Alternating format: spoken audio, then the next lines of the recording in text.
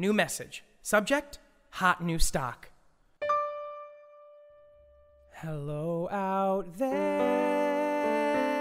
Hello Out There is about three 14 year olds from suburban New Jersey who spend their summer vacation committing securities fraud over the internet. It takes place in 1995 at the dawn of the internet, and also at that funny window when um, when kids were starting to realize how powerful they could be name of Micro D, that is listed on the pink sheet. the show that we've created, you know, came from us and our desire to tell a story that's never been told before, and certainly never been told before, you know, with song and dance. People are excited, no need for budgets, they just buy.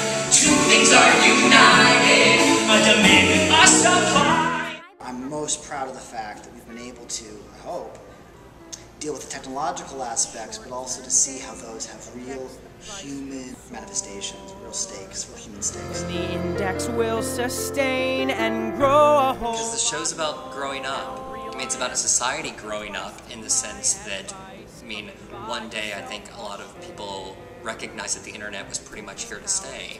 Um, but it's really about kids growing up and becoming something more than kids, perhaps something less than adults, but um, occupying a sort of no man's land where they recognize for the first time that their actions have consequences, and that means that they have to do that thing that um, we all have to do, just mature. Hello out there.